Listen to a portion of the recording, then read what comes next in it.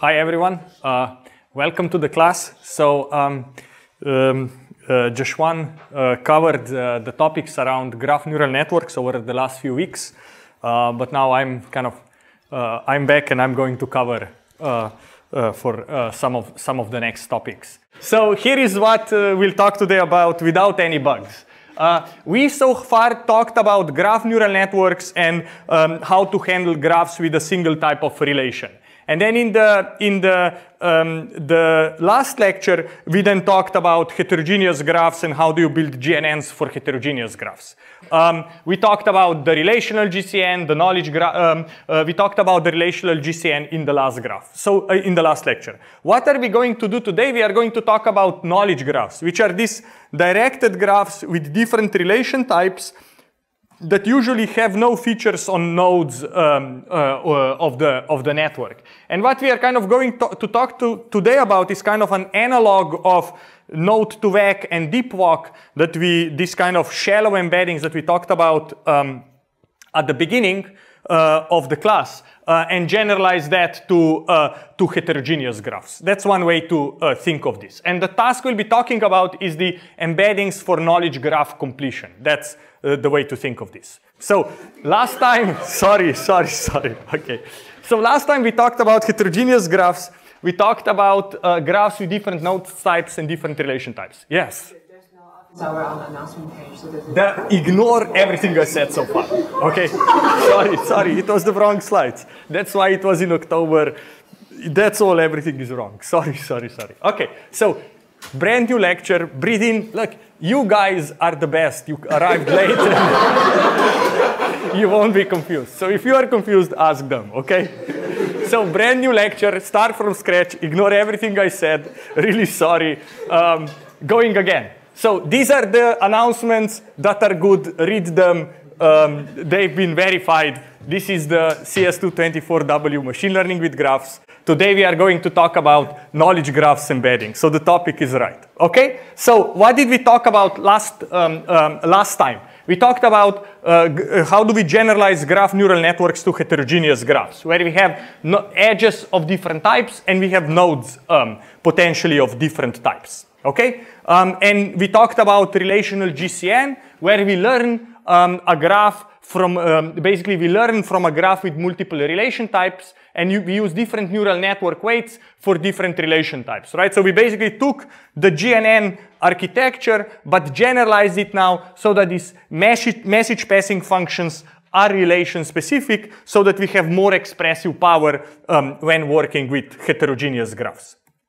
Today, we are going to kind of take this and further generalize, this, generalize it to the notion of knowledge graphs. And let me first tell you what is a knowledge graph and why is it so important and why is it so useful. So knowledge graphs allow you to capture in a graph form, in a relational form, uh, knowledge about entities uh, and their relations. So we are going to capture entities, types, and the relationships between them.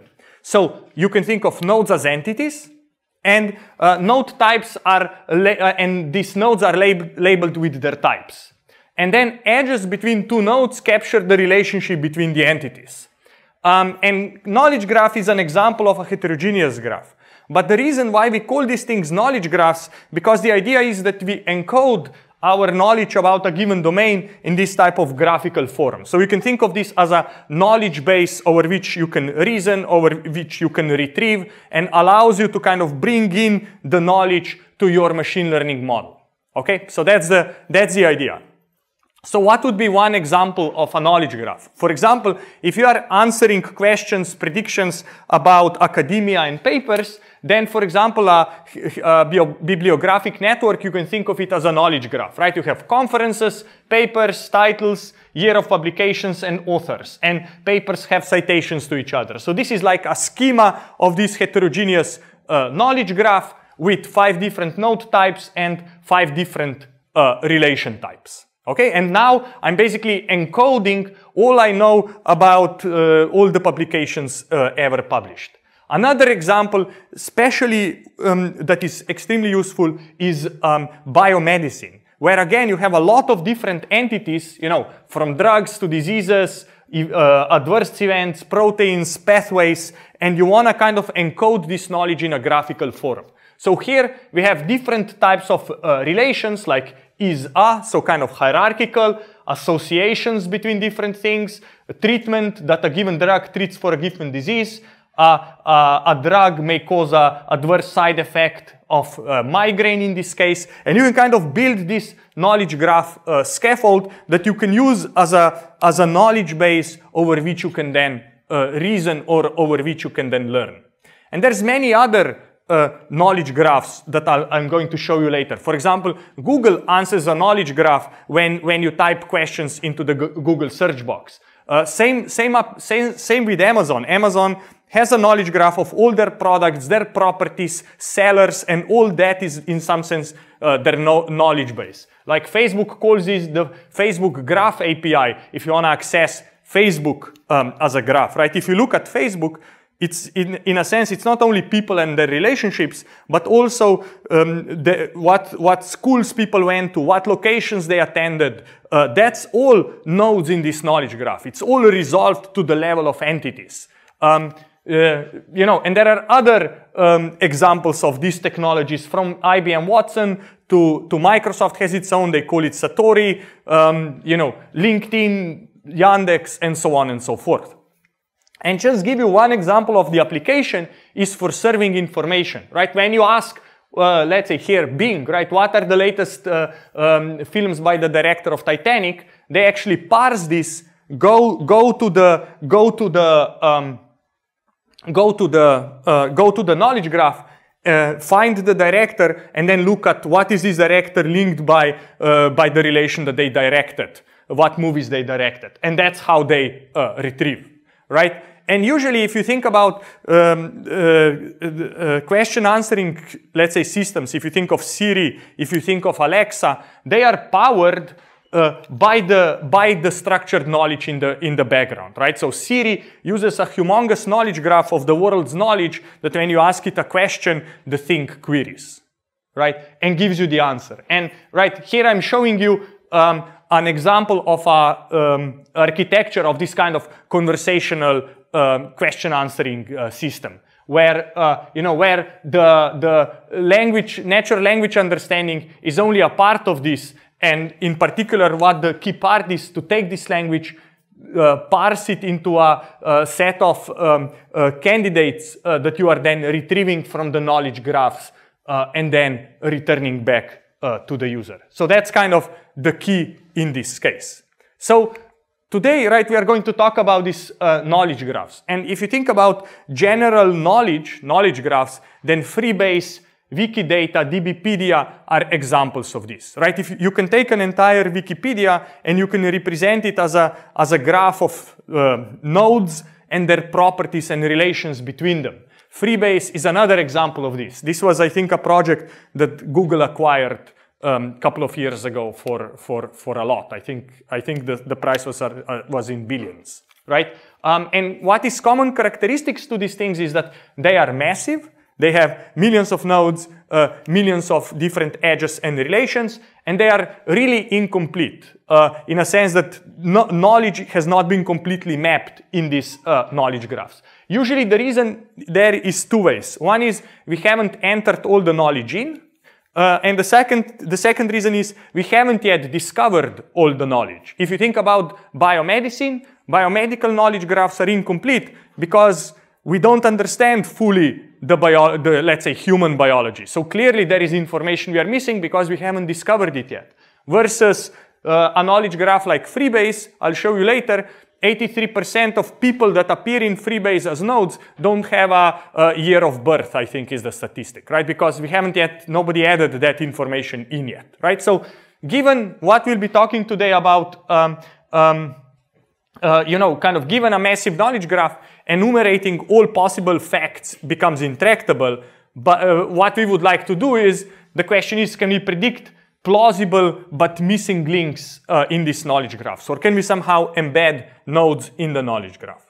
To, to show you, right, I said earlier, a prominent example of knowledge graphs is Freebase. This kind of encodes knowledge about, you know, this kind of uh, co uh, commonly known entities and uh, that appear in the world. It's about 80,000, 80 million entities, 38,000 different relation types, right? So there is 38,000 different edge types and 3 billion edges, right? So because by the relation, so the point is it's not five relation types, it's 83,000 different relation types, right? So the world knowledge in this structured, uh, structured forum is, um, is, uh, is, um, is very complex, right? As I said, 93% um, of people in, that appear in Freebase uh, don't have a place of birth, um, and 80% don't have a nationality, right? So there is no link relationship of that person, uh, nationality, and to the, let's say, country uh, or nation mapped explicitly in this knowledge graph. Yes?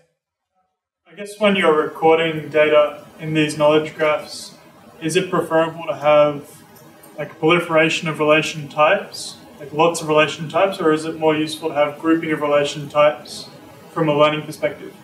Uh, good point. So what you are asking is to say you have, like here I emphasized, you have this huge number of relation types, right? And the question is, is that too, is that too much? Um, what should you, what, what should you do, right? I would say there is an entire um, how to say, industry or an, an entire uh, field of, you know, how do you build ontologies, how do you build these knowledge bases. And it becomes very, very tricky. How do you, how do you bring any structure to these 38,000 different uh, relationships? And usually what would happen is that you would have them in some kind of hierarchy, if possible, where these relationships would get more and more fine-grained, but still allows you to kind of reason between different uh, relationship types.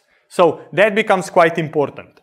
Um, in terms of publicly available data sets that people like to use, there is this Freebase 15,000, which is a graph on 50,000 entities about between 200 and 1300 different relations and about 300,000 to 600,000 uh, different edges, right? So if you want a kind of a little academic benchmark, this is what, you know, NeurIPS papers tend to use but really the full data set is up here. Very few papers kind of have the, have the guts to use the big data set because it's massive.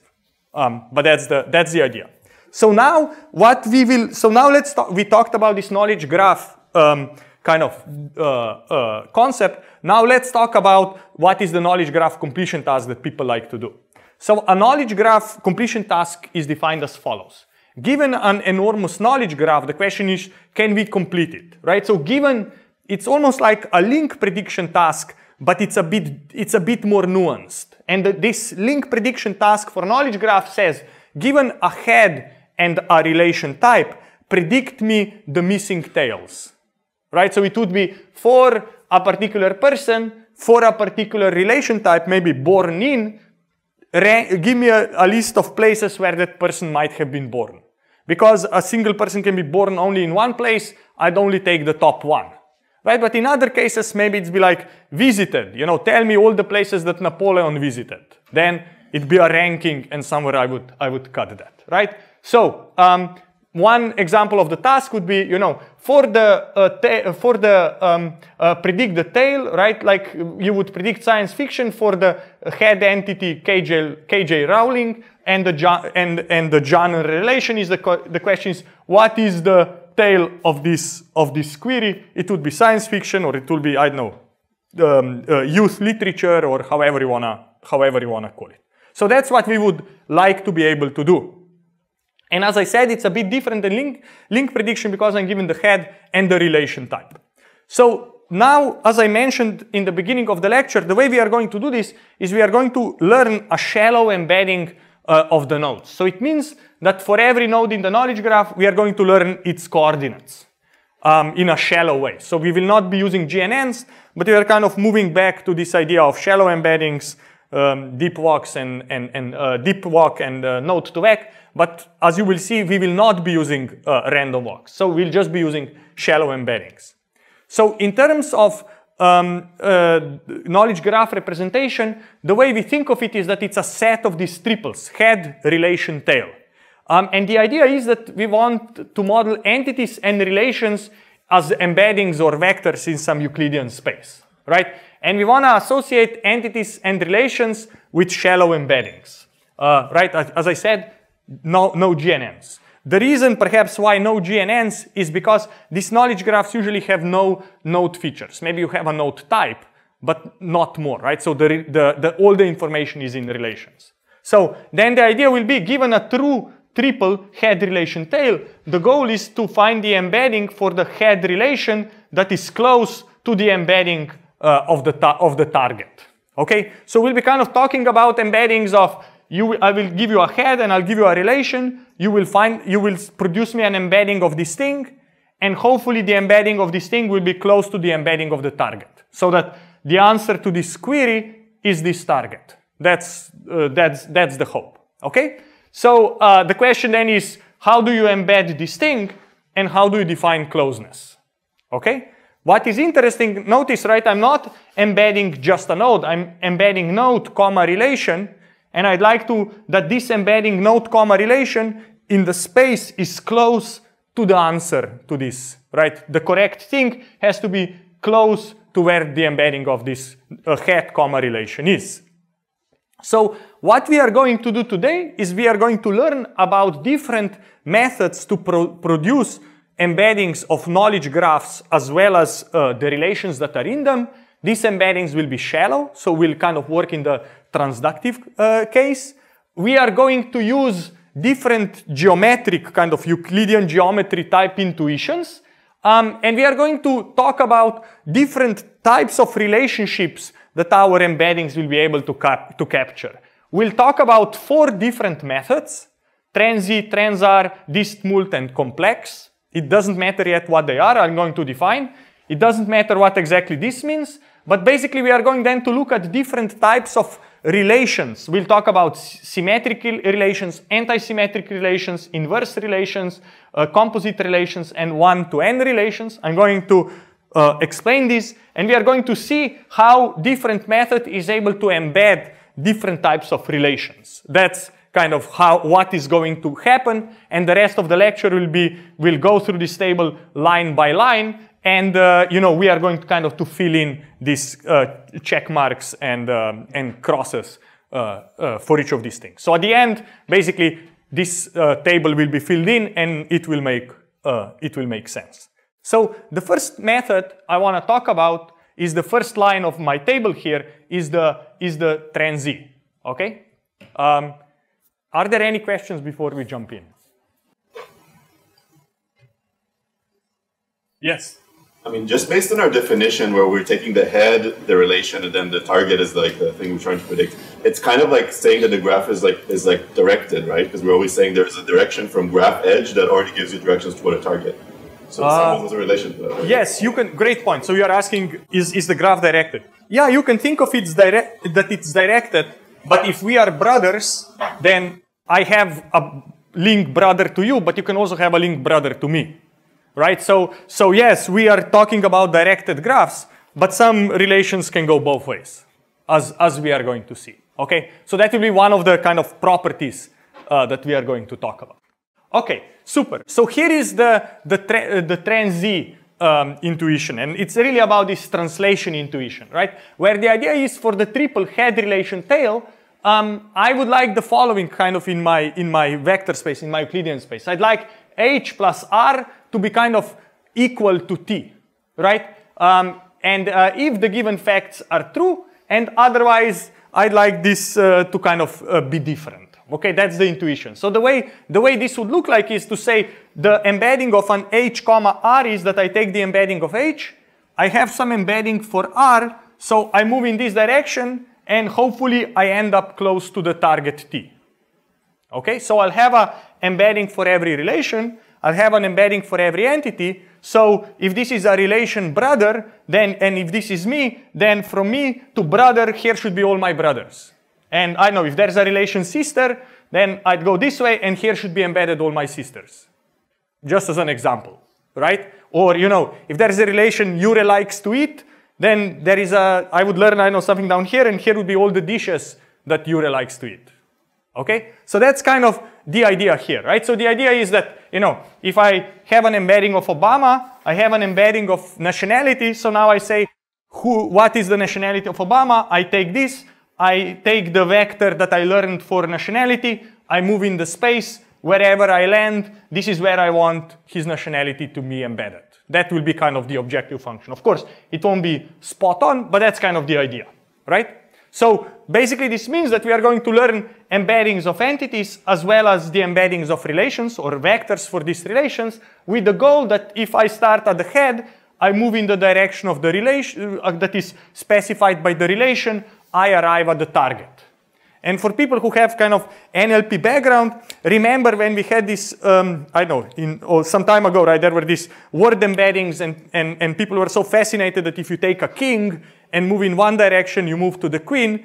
And uh, if you take, um, uh, um, and uh, you know, it was kind of consistent uh, for different kings and queens of all different world countries, kind of that vector in which you move was the same for them all. Or if you took a name of the country and you looked where is the capital embedded, it was kind of the same direction from you know China and Beijing, from uh, USA and Washington DC, for Germany and Berlin. It was all this kind of vectors. So that's kind of the one um, motivation uh, for this. Here's the algorithm. I throw pseudocode up, but the reason I want to throw it up, uh, like show it here, is that I want to show you that you basically the way you learn this is in, in using a contrastive or triplet loss. Okay, so that's the concept I want to teach you here. So the way we think of this is that basically we initialize the, the uh, embeddings of uh, um, uniformly at random of, um, of uh, entities and relations. And then what I'm doing is I'm basically, um, uh, I need to create negative samples, right? For every triplet in the, in the, in my, um, in my knowledge graph, head, relation, tail, I say, aha, for, for a for a given head and a given relation, the tail is a positive example, but the, uh, the real tail is a positive example, but now I need to find a, a, a negative example tail, right? And uh, now that I have a head, real tail, and a wrong tail, my goal in the objective function is that the distance between head plus relation to the real tail should be smaller than the distance from the head plus relation and the wrong tail. And then, of course, here you ask yourself, right, and this is called a contrastive loss that favors lower distance, higher score for valid triples versus, and ones who have high distance, um, lower, lower score for um, the corrupted ones, for the negative ones. And that's kind of the contrastive loss I want to explain here. Yes, question? Uh, yes, so in the in line 10 or T actually, whenever you sample your negative sample, uh, you have H prime as well as T prime. Does that mean you're sampling for both like the wrong head and the wrong tail? Uh, because, yeah, like... Uh, good question. You can do it. You can do it both ways. You could say for the head relation, I want to get a correct tail and the wrong tail. The question is, what is the wrong tail? If you will pick a random entity, that will be a too easy tail.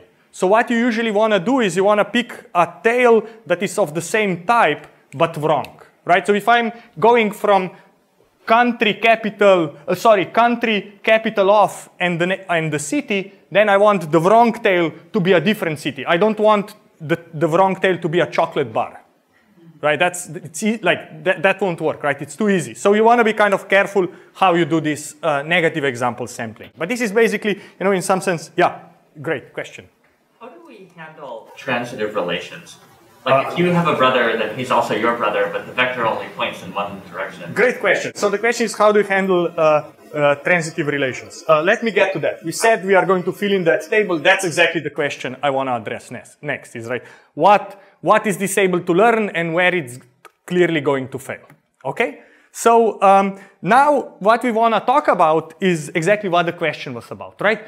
Um, relationship in heterogeneous graphs have different properties. Some may be symmetric, like a brother or a roommate. I'm your roommate, you are also my roommate, right? It has to be that way if we are roommates. Um, uh, some may have uh, um, uh, uh, inverse relations, right? If I am your advisor, you are my ad advisee, right? So it's kind of uh, uh, that way. Um, this means that, you know, if one exists, the other one should also exist.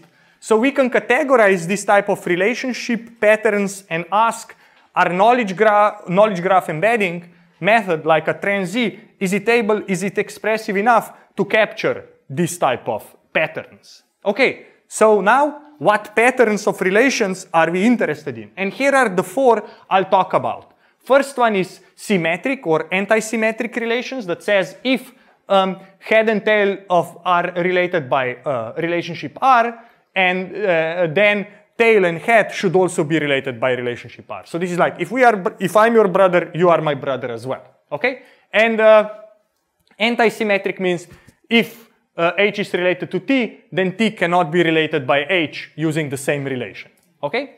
Um, then you have inverse relations, which would mean that this is like advisor advisee type, right? Where whenever uh, H is an advisor of T, then T is an advisee of H, right? That's uh, uh, what we say an inverse relation. Uh, then we have composition or transitive relations, where you say if X and Y are of, related by R1, and y and z are related by uh, R2, then x and z should be related by R3.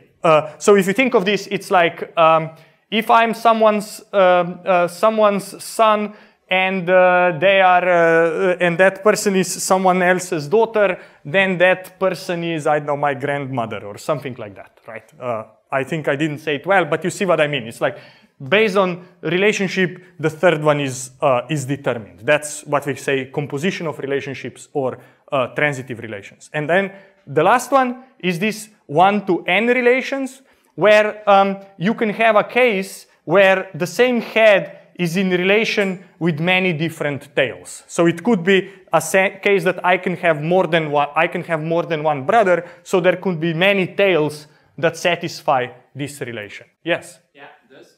operation assume like one order for your operations? Like because your husband's mother will be the same as your mother's husband. No, this assumes order. Okay. This assumes order. Okay. So let's now look what TransE allows me to do, right? Is it able to give me, uh, to model uh, anti-symmetric relations, like hypernym type relations, right? And uh, uh I, it, can, it can allow me, uh, it allows me to do that, right? If H is in relation with T, then T cannot be in the same relation uh, with R. Okay? So this, this is what this allows me to do. Um, it also allows me to model inverse relations by basically saying if H is related to T, then T can be related to H according to this other relation, right? So it's just kind of a, a vector pointing in the opposite direction. So that, that I, can, uh, I can also do. I can also do composition, right? By saying if I can go from x to y by R1 and from y to z by R2, then I can also learn a relation that goes directly from one uh, to the other. So these things are uh, naturally, uh, naturally, uh, naturally composable, right? Um, so this is in terms, uh, right? My mother's husband is my father, or something like that, right? Um, so this is what we can uh, what we can what we can model. But here's an example we cannot that uh, of a relation that TransE is not able to learn, right? Like asymmetric relation, like family, roommate, brother, and so on, right? Then I cannot model symmetric relations. The only way to model them is to embed H and T to the same spot and have R, uh, R equal to zero, right? Then H plus, uh, H plus R equals T and T plus R equals H right? That's the, that's the only way this would, be, this would be possible. So we say that you cannot model uh, symmetric relations uh, with TransE, okay?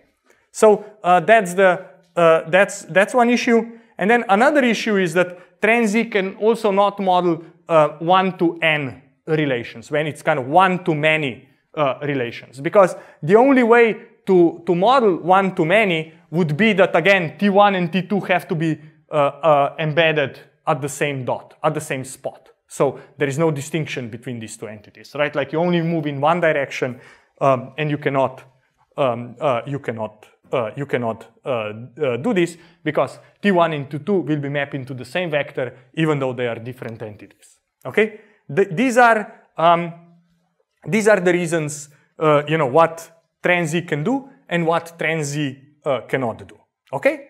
So, um, based, based on kind of these uh, intuitions, failures of uh, uh, TransE, I'll now show you a different method that uh, people have invented that will allow us to fix uh, some of these issues. Okay, so now we, we kind of completed the first line of that table, and we are now moving uh, to, the, to the second line of the table, which is the approach that, that is called transr. Um, right, and the way TransE models translation uh, of any relation uh, in the same uh, embedding space. The question is, can we design a new space for each relation and do the translation in the relationship specific space? Okay, that's what TransR tries to do.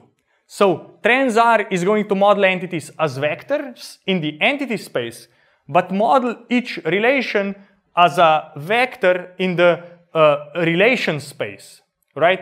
Where um, R will be uh, k-dimensional, um, and uh, we will actually going to have then uh, a matrix that is going to map from this k-dimensional space back into the d-dimensional space in which the uh, entities are uh, embedded. So we are going to have this projection matrix. Uh, that's the idea for TransR, okay? So TransR models entities as vectors in the entity space that is d-dimensional and models each relation as a vector in the relation space um, with uh, M sub r being this, uh, this projection matrix that is uh, relation specific, right? Um, so the, the scoring function, so the way we are going to kind of measure the distance between uh, uh, head and tail for a given relationship uh, R is, is the following, is we are going to um, apply uh, uh, relation-specific uh, projection to the entity H, that's why I have it here. we are going to apply the same projection to the entity T, and then we are going to move according to the vector R. Okay, so here basically for every relation we are allowed to to um, to uh, to kind of linearly uh, morph the space um, uh, uh in a relation specific way. Okay, so the idea is that you know maybe the entities uh, in the original space are embedded this way, but then our projection matrix is going to embed them differently, and then the relation embedding vector will tell me how to move from head uh, to the tail. That's the, that's the idea. So here I'm learning three things. I'm learning the embeddings of entities, I'm learning the relation vector R, and I'm learning the projection matrix uh, for every relation. That's the, that's the idea. So now let's reason about what this is going uh, right? And just maybe in terms of how do I learn this, I basically use, this is my objective function, right? It's, it's essentially, it's an, analogous to, uh, to the TransE one, where we had the same, we said the, that the distance between uh, h plus r and t has to be small. Um, but in this case, in this case, I'm using this uh, projection matrix. So it's essentially the same objective function that I'm trying to uh, that I'm trying to optimize, just that I add uh, matrix M as part of the learning as well. So um, so now uh, what is interesting is that in this case I may actually be able to model um, symmetric uh, symmetric relationships because uh, TransR will allow me to do this because uh, the matrix M will allow me to map from the two entities, from the space of entities uh, to the to the same kind of to the same spot in the relation uh, specific uh, uh, space. So this means that we can map H and T to the same location in the space uh, uh, of relation R, um, and H and T are still different entities in the in the original space, right? So I can learn this type of mapping, and I will be able to handle symmetric relations uh, the, the, something that TransE uh, was not uh, able to do. I am also able to handle um, anti-symmetric relations. This is actually the same as in that TransE can do, where um, uh, um, you know, I can learn a, a, projection that will kind of uh, keep the entities apart, so um, I won't be able to come uh, back to it. Okay, so that's the same as what TransE was able to do. Um, now, how about one-to-n relations, right? One-to-n, rela- one-to-many relations means that one entity is related to many other entities according to the same relation.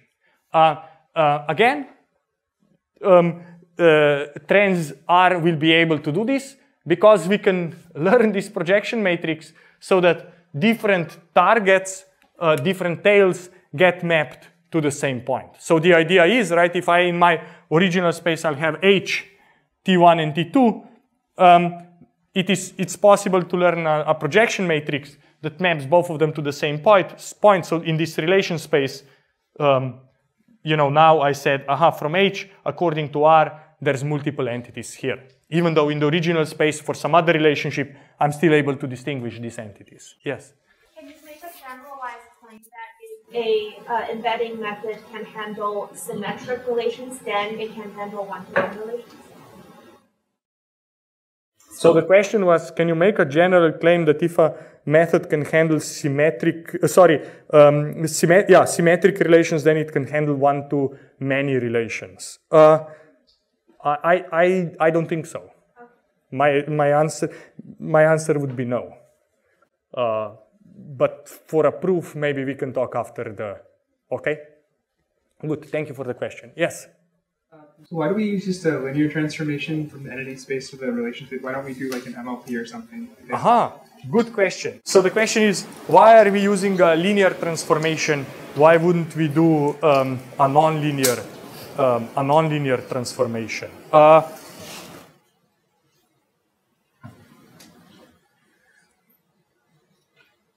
I guess you could. Um, I mean, I think you could. You would learn an MLP that would basically take these coordinates and learn how to how to transform them. Um, you know, I'm trying to come up with a reason why that would be a bad idea. Um, it's a good, it's a good question. Um, my sense, does anyone see why this would be a bad idea? Competition expensive, maybe? Yeah, I don't know. Like we could, you could see whether this is possible to learn. Now you are learning one kind of separate M- MLP uh, uh, for like it will be a very complicated learning loop because you will learn the embeddings of entities, then you will want to learn the MLP, you'll want to learn the R, so it's a good question how, how you will, whether this will kind of work in practice, but if somebody gives you an MLP that works and the embeddings, yeah, I, there's no problem with that. Uh, good, good question. I, you know, be fun to try. Um, cool. Okay, so this is one too many. And then in terms of inverse relations, again, uh, this is uh, uh, this is kind of uh, easy to see because it's trans R is just a generalization of TransE. So if the projection matrices for two uh, relations, uh, two um, inverse relations is the same, then basically you know one relation vector is an inverse of the other relation vector, and you get this the same way we got it in in trans R in TransE. Okay. And then the last thing to discuss is this uh, composition of relations. Um, and the way, the way perhaps uh, to see this um, is that uh, I'll give you some kind of visual proof or high-level intuition why this is why this is possible. And the idea is that trans R models a triple with linear functions which are chainable, right? Kind of linear functions are composable, so um, everything will work. That's the that's the high-level intuition. And uh, here uh, here here I have a, a longer um, a longer a longer proof that maybe in the interest of time that I, that I um, spent at the beginning talking about last year's uh, lecture that was slightly different, um, I will skip. But the way, the way you, can, you can do this is first you need to define this kernel, space uh, of, a, uh, of, a, of a matrix. And then, you know, you can, you can say, aha, what is composition of relations? If, you know, if X and Y are related to, with R1 and Y and Z by R2, then I want to show that Y and Z according to R3 um, uh, is, is possible. And basically you start writing it out according to our, uh, to our linear algebra with these projection matrices. Um, and then, um, and then, uh, and then that will, uh, uh, and then you can basically uh, define or come up um, with the answer that because you can, because these matrices are linear operators, you can, you can chain them and get the correct answer at the end. Yes? So these are kind of vector spaces, like Yeah. the space of entities and the space of relations, and all these rules are examining like injective, surjective, or bijective. Can it be viewed that way? Um, can you can you clarify? Like, can you ask again? If it's two, so basically like the space of entities is RD, the Yes. space of relations is RK. Yes. So it's just two vector spaces. Correct. Right. So therefore, we're looking at composition like of linear maps. Exactly. And it's a if it's composition one, of linear maps across these two vector Right. spaces. So then, if it's one to n, that would be looking at if something's surjective. Correct. And then we can think about injective, or if it's bijective. Correct. You can you can. That's a, maybe another way to say it is that basically you have two vector spaces. One is a d-dimensional, and I think the other one you said is a k-dimensional. Um, and uh, you are basically learning at looking at compositions across these two, and you are looking at this, as you said, bijective, surjective, uh, or injective um, uh, relationships across these space. So would that be related to the earlier two questions about um, what earlier earlier our friend asked? Um, if it's one to n, would it also be symmetric? That would mean just because it's surjective, it doesn't mean it could be bijective. Exactly. Well, would that answer this question as well about the MLP? Because we're looking at um, like linear composition maps Exactly. between, therefore you can't use MLP. Exactly, that's a great point. Actually, I was thinking of exactly the same. Um, uh, great observation, actually. So, where your MLP would break is here, right? So that's you would lose um, composition of relations with uh, with with the MLP. So that's that that's the place it would break. So yeah, great great point. Exactly, exactly. Cool.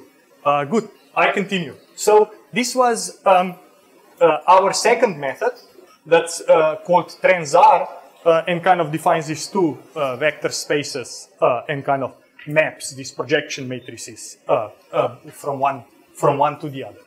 What I want to do next is talk talk about the third method in this um, in this space called uh, DistMult.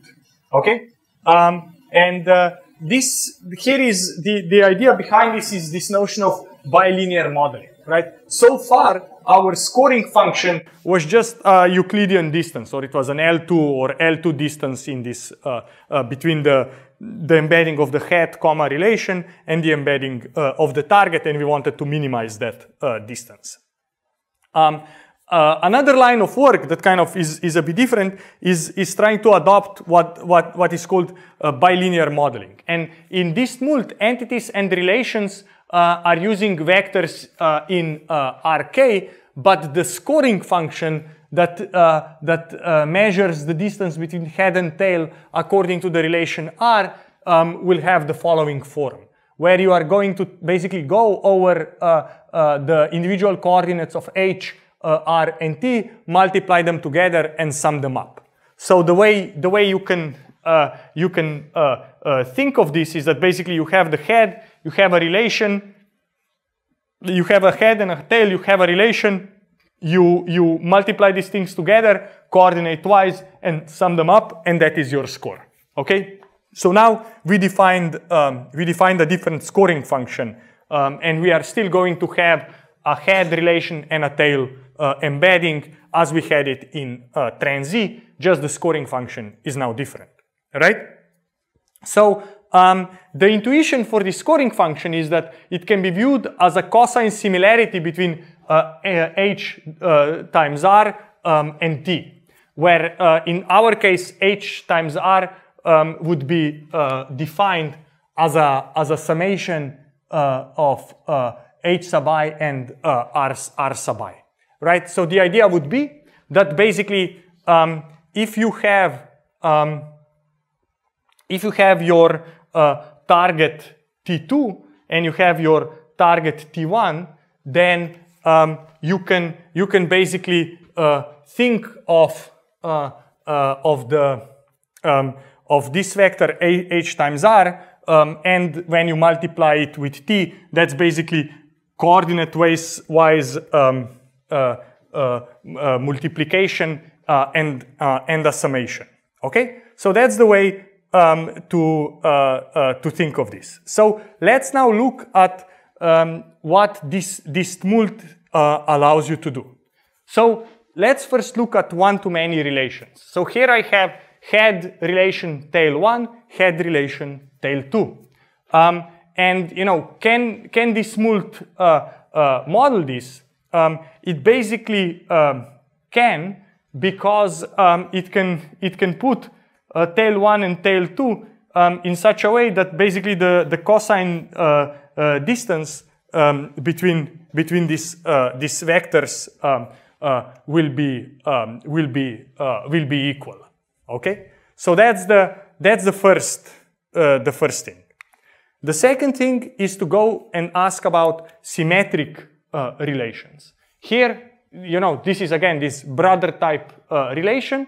The way DistMult can uh, uh, uh, uh, can naturally can naturally do this is because basically our um, our um, scoring function um, is the same regardless of uh, head and tail, right? So basically, multiplication is uh, um, um, uh, you know the order the order in which I multiply numbers doesn't matter right? So I'll get the same score if I'm scoring head relation t or if I'm scoring tail relation uh, head. So I will naturally uh, get that.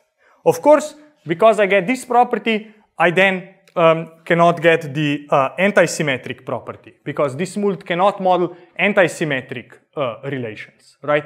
Because the score of head relation tail is the same as score of uh, tail relation head, uh, this means um, uh, the, the, the uh, score of head and tail and the score of uh, tail and relation will always be the same, so you cannot uh, distinguish, uh, distinguish the two, right? So you cannot say if head is in relation R with tail, then tail cannot be in the same relation with, uh, with R. That will, you know, it will always be symmetric. It won't be able to, to capture this type of anti-symmetry.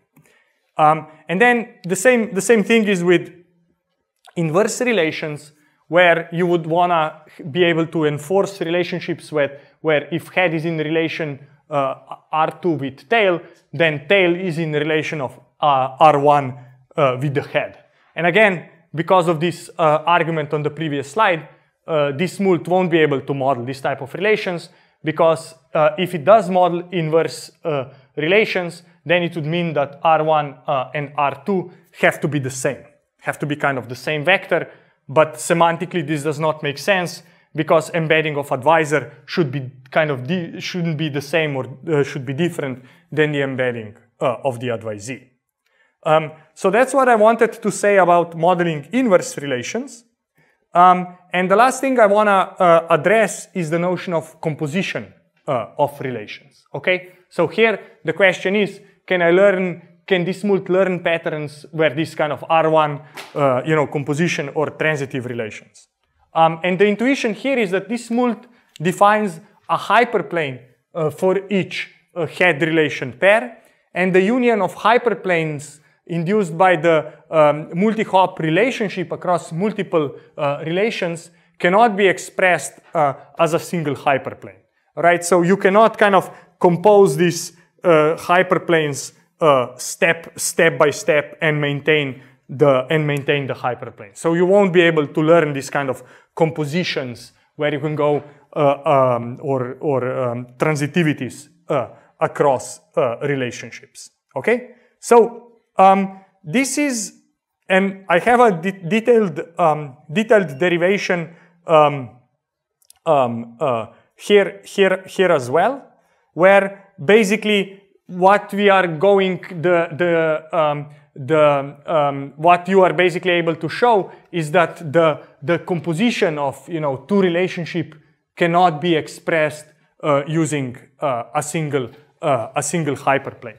And the detailed derivation uh, will go, would go in the following way that we would pick some y uh, such that the scoring function of x, y according to relation 1 is greater than 0.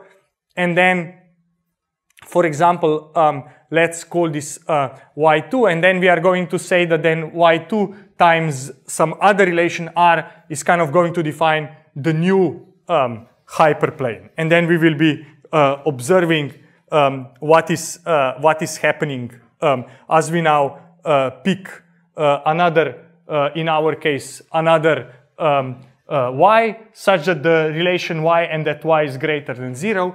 Let's call this uh, y uh, y3, and then y times the relation 2 will define the new um, the new the new hyperplane.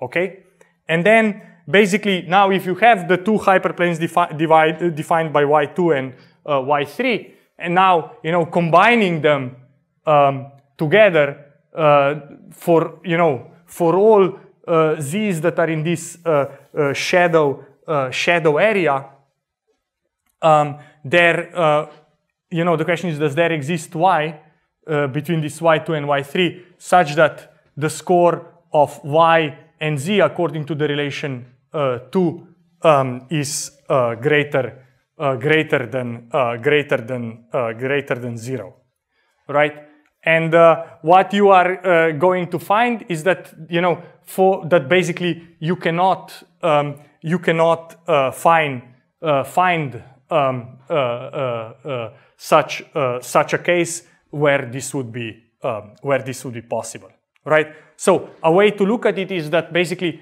according to the composition of uh, relations, we would also want the score, according now to R3 between X and Z, right, to be greater, to be greater than zero, right? For every Z that is in this um, uh, shadow area, right? But this is this inherently cannot be cannot be done uh, or expressed as a single hyperplane defined by uh, X and R3 uh, no matter what R3 is, right? So basically this means that in this uh, um, uh, mult, you are not able to express uh, transitive, uh, transitive relations.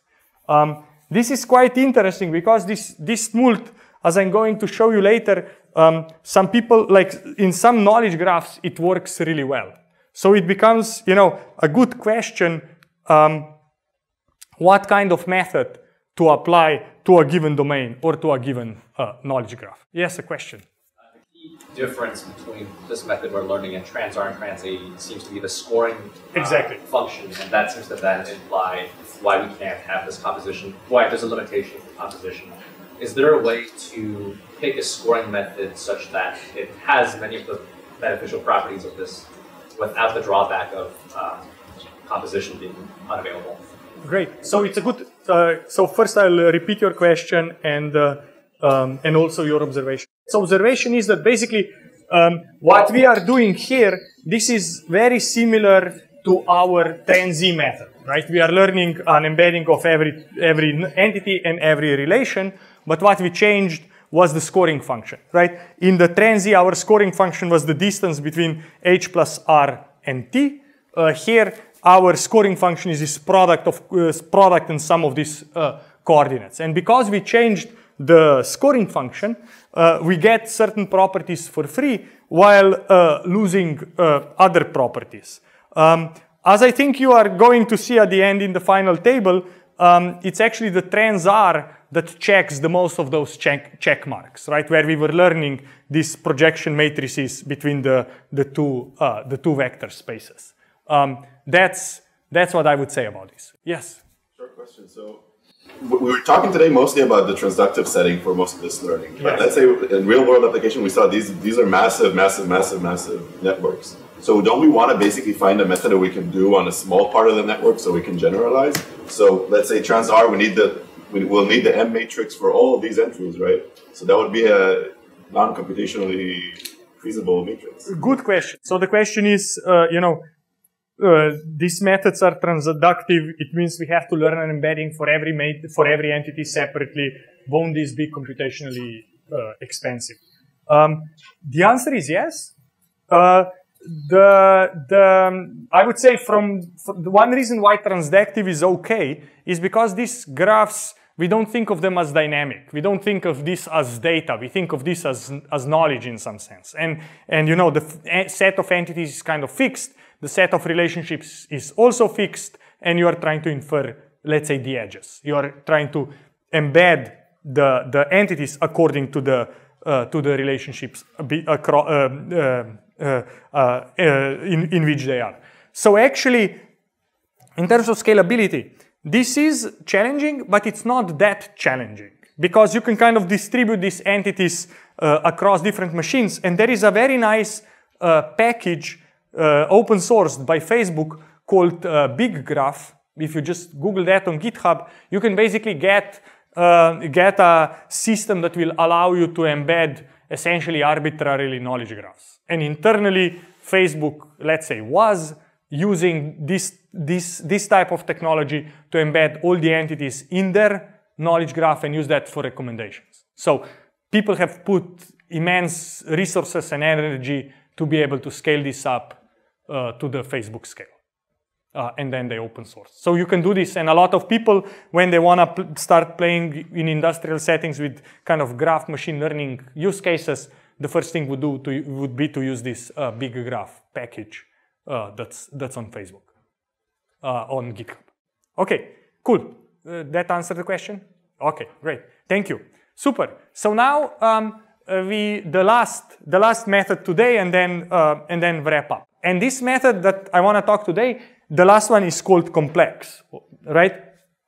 And uh, it's based on this smooth, um, com but ComplEx is going to embed uh, entities and relations in the complex vector space, right? So not in the real, but in the in the complex, right? Um, so now the way um, you can think of this and what you are uh, getting, what you are getting when you are in the in the complex space, you get this notion of a, of the complex conjugate, right? If I have a, point uh, in the in the uh, with a complex embedding that has the the real uh, and the imaginary uh, axis, then there is also exists a um, a conjugate of that point where basically if I had before a plus b uh, i, now I have uh, a minus bi. Okay, so that's the that's the what you get here um, when you think about uh, complex, uh, complex arithmetics and trying to think about how would I embed um, things in the complex space, right? So here, um, the way the way we think of this is uh, u is a is a point in the complex space, and the way is the position of it is defined uh, in two ways. Is defined by the um, embedding of a, and it's de defined by the embedding of b, uh, and both are k-dimensional. Okay, so that's the way um, that's the way uh, to think of this. Uh, but of course, what is going to um, work differently is now the scoring function. And the way the scoring function is going to work is that, uh, is that now I'm going, when I'm doing my, um, uh, my scoring function is going to be defined this way, right? So I'm going uh, to multiply h and r, but I'm going to multiply that with the conjugate of uh, t, and then whatever is the result, I'm only going to take uh, the real part uh, of that, and that will be my, uh, my, my example of the score for a given relation, head and the tail. Okay, that's the, that's, the, that's the idea of how ComplEx is going to work. Okay, so um, now let's go and look what this will allow us to model. First, let's look at anti-symmetric relations um, and uh, um, you know the claim is that ComplEx can model anti-symmetric relations. Um, and uh, the, the idea is that you know the model is expressive enough to be able to learn a high value of the scoring function uh, for uh, uh, when you when you are uh, multiplying h and and the conjugate of t, and a low value of the function where you are multiplying t with the conjugate uh, of h. Okay, so due to the symmetric uh, modeling uh, of using uh, complex uh, conjugate, right? So this is this means that we will be able to model um, complex uh, um, complex relationships. How about sym symmetric relationships, right? roommate, brother, and so on. You are able to do to do that as well. And here I have a bit of a bit of algebra, right? So you are asking what's the score between of R, H, and T, is, and is that the same as the score of R, T, and H? And you can, uh, the way you can, um, you can uh, uh, derive this is to say, oh, this is the real of this product. You can uh, take the product, uh, you can take the product uh, out. You can then take R, um, which is which is a uh, a, uh, uh, a real vector and uh, just take the, the real of the, of the h and t, which are, which are, which are uh, complex. Um, if you, if you uh, uh, do it this way, then uh, you can move uh, the, uh, the conjugate from t to h uh, as well, and then basically expand it back uh, to get the embed to get to the scoring function of t comma h. So the key the key step is this step where you basically is the equivalence from here uh, to here, and then it's just expanding it back to to uh, what the scoring what the scoring function is. So this is for uh, showing uh, symmetric relations. Um, last, what is interesting about ComplEx is that you can also do inverse uh, inverse relations. And the way you can do uh, inverse relations is that uh, R and um, uh, that R1 is just a conjugate of uh, R is a complex conjugate of R of uh, of R2, right?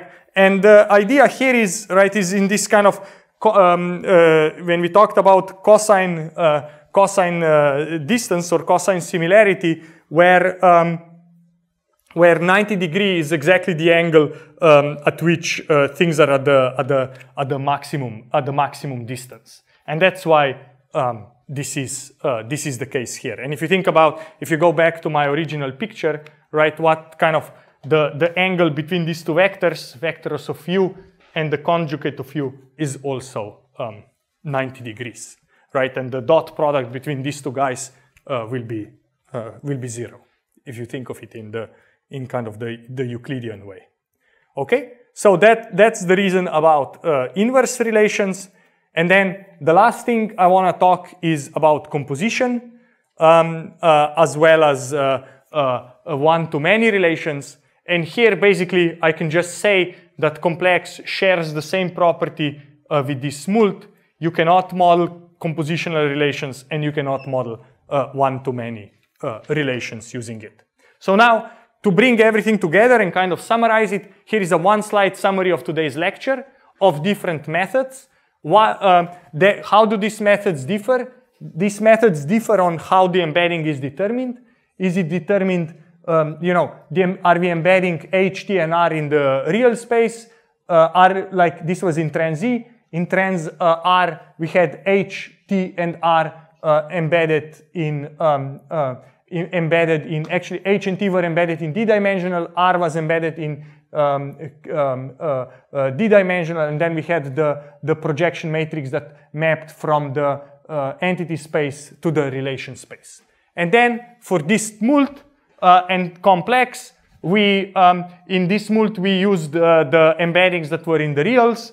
For uh, ComplEx, we used the embeddings that were in the complex space, and then the scoring functions uh, uh, we were using are, were different, right? For TransE, it's a simple, let's say here Euclidean distance, the L2 norm between head plus relation minus tail. So basically the distance between uh, the head plus relation and the tail.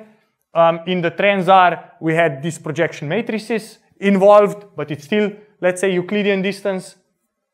In DistMult, we defined the we find we define this uh, kind of notion of uh, cosine distance, and in ComplEx, uh, we we changed further the definition. We kind of adopted the smooth distance function, but added the the um, uh, uh, uh, we extended it in the following way. And then what was different, right, is that we looked at this symmetric, anti-symmetric, inverse, uh, composite, or also called transitive relations and one-to-many relations. And this is how different methods compare to what they are able to, uh, what kind of relations uh, they are able uh, to model. Uh, that's what I wanted to say. And I'm also going to, um, to have a few more slides with practical tips, but I'm happy now to take questions. Oh, yeah, I had a question about the anti-symmetric case for ComplEx. Uh-huh. Um, is there like a complex conjugate interpretation for proving that that one works? Just felt like for symmetric and for inverse, there was a really nice complex conjugate interpretation, but I didn't get that for anti-symmetric case. Uh, good point. Why don't we why don't we then go back and look at it together after the lecture? Okay, good. anything else people would like to ask? Um, if not, let me just uh, a, uh, a few more things to say. So the in practice, right? Like I, I gave you these methods, and you're like, it's clear what I should be using. It has all the check marks, beautiful. Um, you know, it seems DistMult you shouldn't really be using. Uh, has the most uh, captures the list of these properties and so on. But actually, you know, the, the, the real world is a bit more um, is a bit more complicated. And it actually turns out that different knowledge graphs will have very different, drastically different uh, relation patterns, kind of prop relations with different properties. So generally, there is kind of not a one best embedding that works for all, all, um, all different, uh, uh, all different knowledge graphs. So many times it's good to actually go into the knowledge graph, see what are the types of relationships you have, try to quantify them, understand them, and then, um, and then choose your uh, method. What people like to use is usually first run TransE because it's so simple and so easy. It's kind of the easiest to learn, the easiest to, to, uh, to make stable. Um, it's kind of the, the very natural, very interpretable, very easy to try. So people would usually start with uh. Um, and then, you know, you can move, uh, um, you can move to more uh, complex, uh, complex uh, models like um, ComplEx, RotatE, uh, DistMult, um, and, and so on. Um, TransE is going to work well, especially if the, your, your graph doesn't have too many symmetric uh, relations. Okay?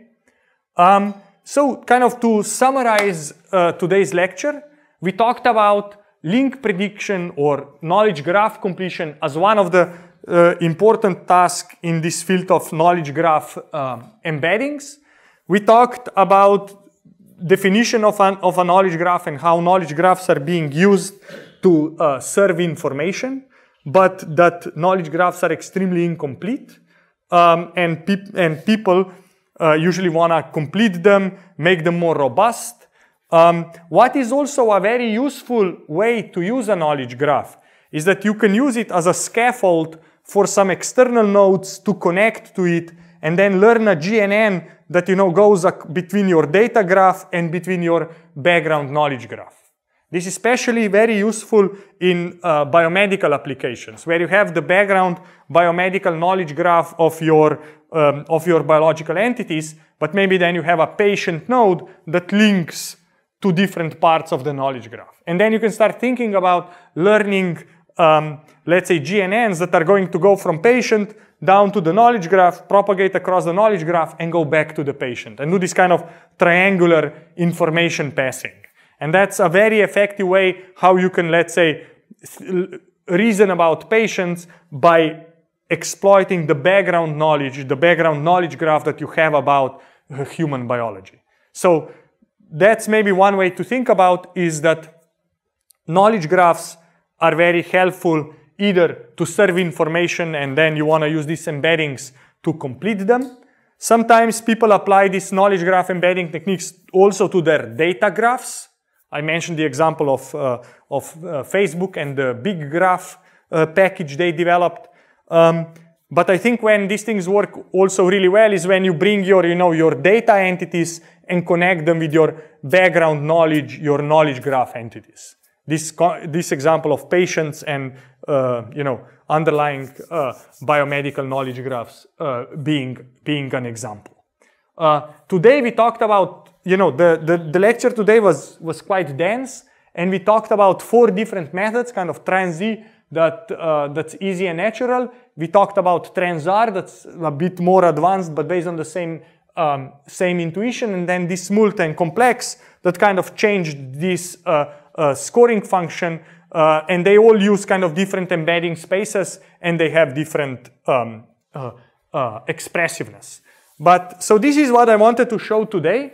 And then next week um, on Tuesday, I'm actually going to uh, kind of enrich uh, this notion of how do I do link prediction in knowledge graphs, and we'll talk about this kind of multi-hop link prediction, or basically being able to reason and answer arbitrary queries over incomplete knowledge graph. So we will be given an, a, a knowledge graph and a logical query, and the question will be, can we find all the entities that satisfy that logical query? Um, that's what we are going to uh, learn uh, about on Tuesday. Um, you know, let's finish here, but if people have questions, please come, come here and we can, uh, we can talk. Uh, thank you so much.